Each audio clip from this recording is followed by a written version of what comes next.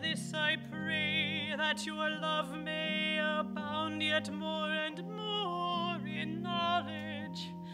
and in all judgment, that ye may approve things that are excellent, that ye may be sincere, being filled with the fruits of righteousness unto the glory